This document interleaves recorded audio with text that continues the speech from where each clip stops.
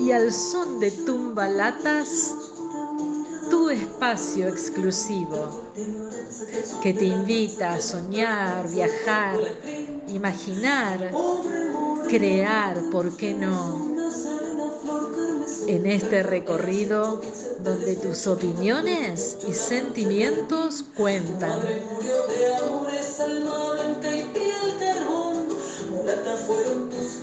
Te damos la bienvenida de la mano de Yasmín Chayo y Jonathan Levian.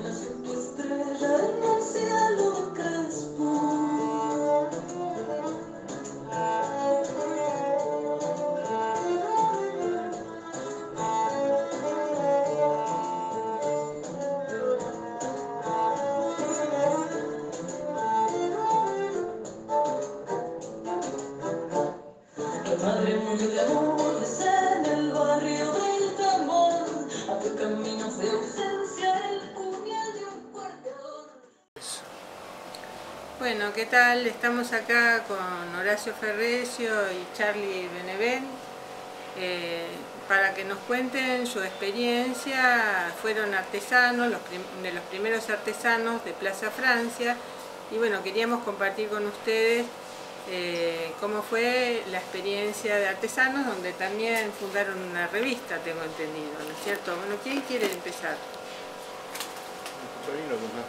La verdad que no sé por dónde empezar. Pero sí, sí.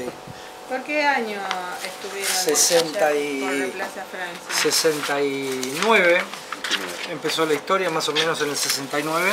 Sí.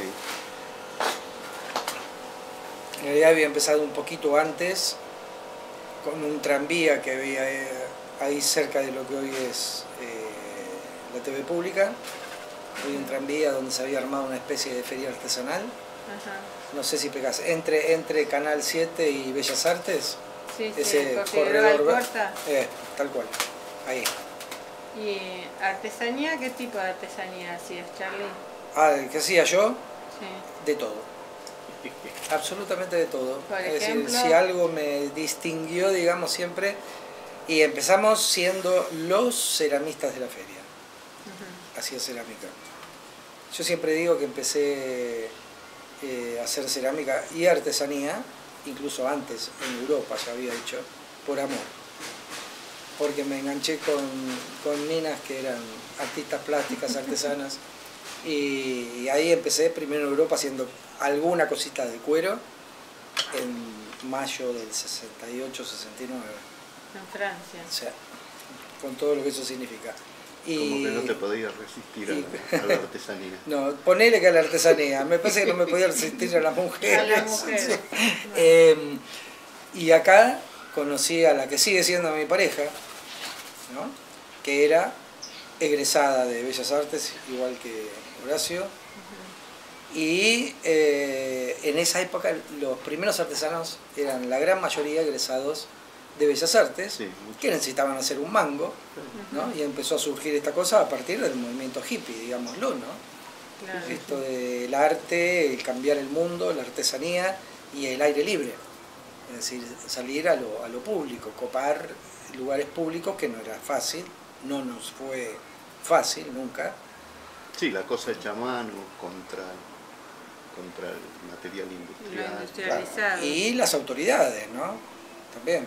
No les, daban, no les daban autorización para estar. Autorizaciones relativas, ¿no?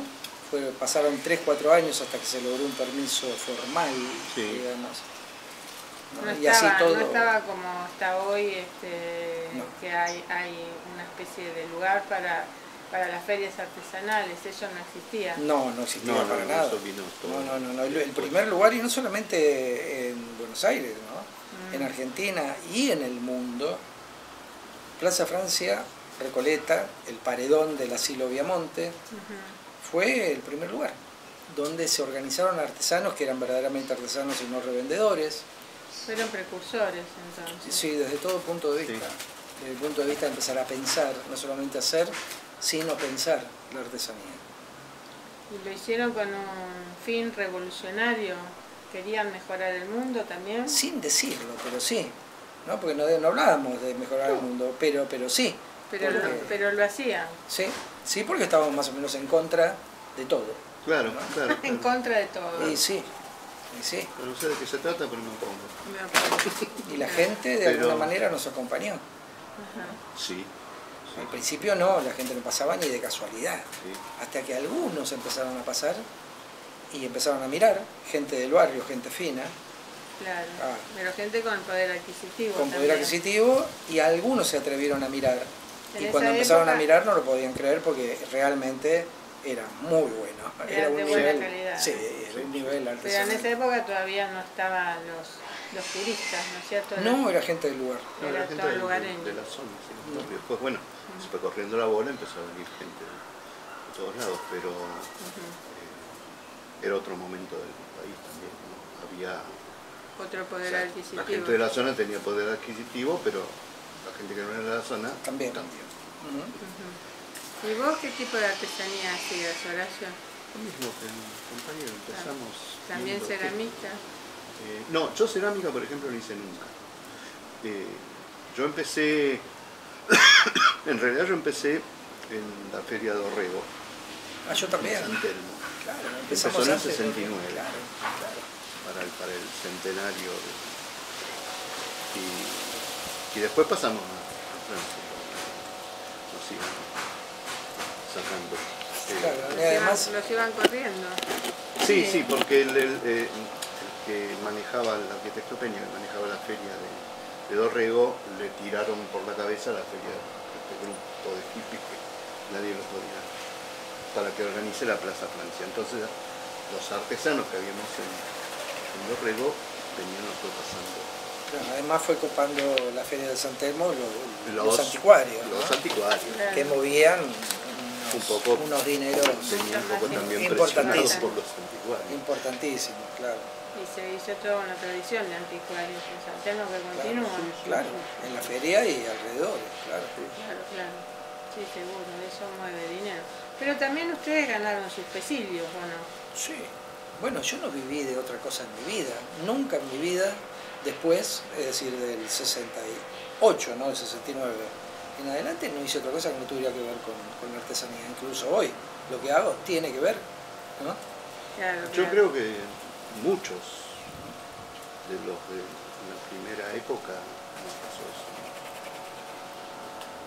Toda la vida trabajado Pudieron- con algo referente a, artesanía. artesanía. Yo, por ejemplo, dejé de estar en ferias en un momento, pero seguí, seguí con mi taller.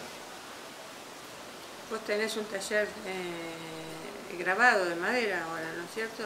Ahora no, ten- tuve un taller de una carpintería, en donde hacía objetos artesanales y bueno, con, con otro compañero nuestro que era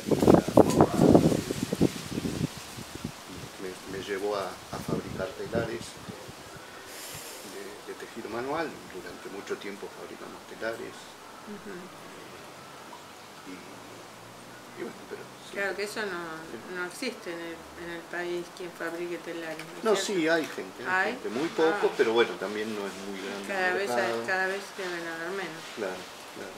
También quien sepa utilizar el telar, ¿o no? Sí, no, hay, hay lo que pasa, nosotros hacíamos unos telares eh, que en realidad son eh, telares europeos, no es el telar tradicional de acá del norte. Eh, son telares del siglo XVII. ¿Y eso continuás haciéndolo?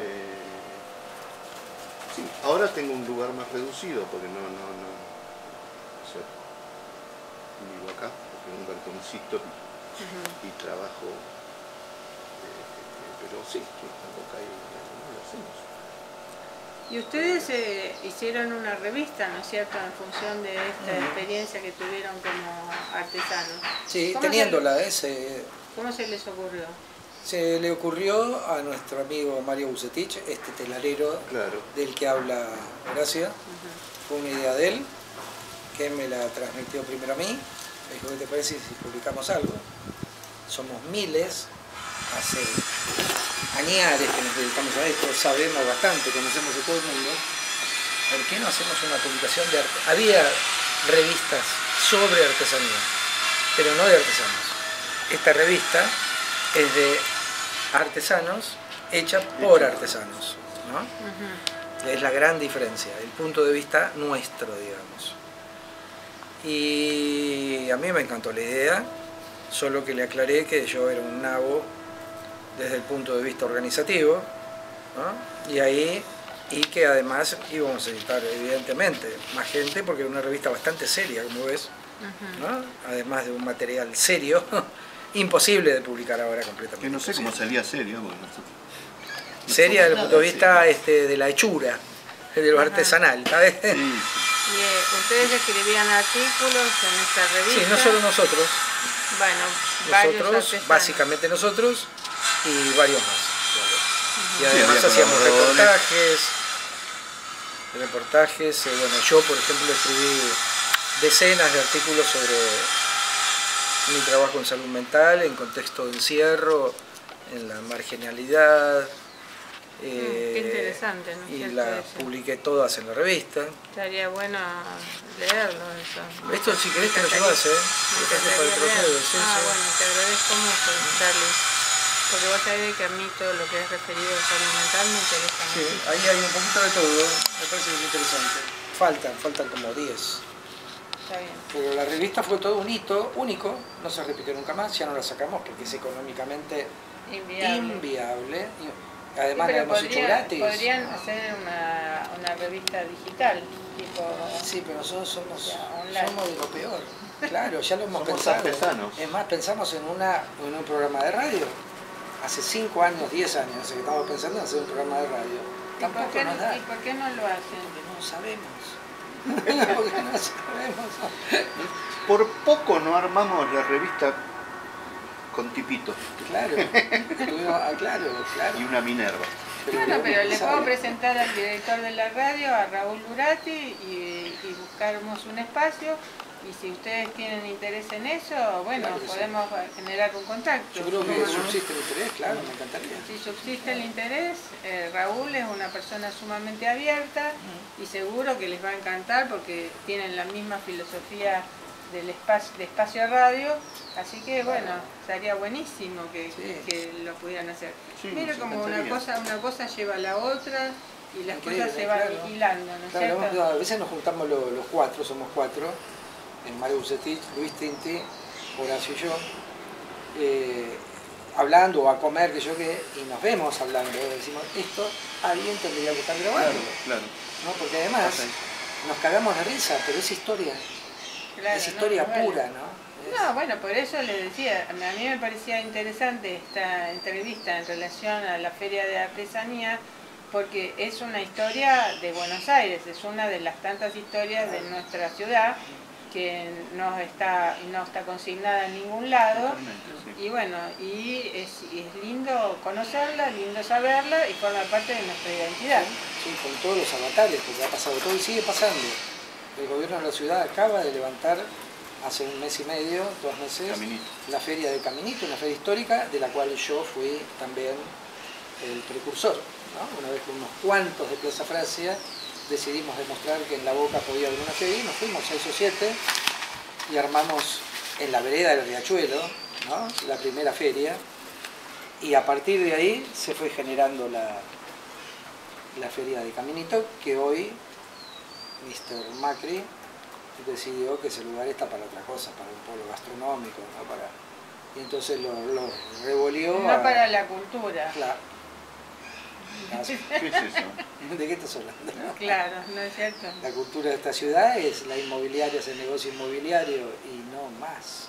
Y el negocio gastronómico, claro. Claro, claro. Pero bueno, acá estamos bueno. nosotros resistiendo. Y Así, tengamos en cuenta que nosotros como- aparte resistimos la dictadura, con todo lo que pasó, ¿no? Ha pasado de todo, claro. Claro, O sea, realmente Todavía no sabemos por de- qué. los deben haber, los deben haber corrido bastante, Claro. ¿o no? Bueno, en nos sacaron de Plaza Francia y nos mandaron a la calle Vicente López, que era una, una calle cerrada, llena de posilgas, de que no es lo que está ahora. No, Es ahora es el mall, o como se llame, Recoleta, sí, sí, sí. pero era una calle infecta, ¿viste? llena de piringundines y Me acuerdo que estaba el mercado ahí, ¿no En la es esquina. El mercado. En la esquina estaba En la esquina el mercado. Ahí vamos a buscar los cajones, porque armamos sobre cajones. Yo ahí iba a buscar los cajones y arriba le tiraron una mantita y decía, no, vamos a ese mercado. Fue base de la feria también. Ah. Vas. base, base, base. Claro, después tuvieron las represiones, bueno, pasó muchas cosas. ¿no? Sí. En Sí. momentos álgidos y, y desaparecidos, por supuesto tenemos también. Sí, terrible, la historia, la historia de, formó parte de la historia del país, Mm. seguro. La terrible historia de nuestro país.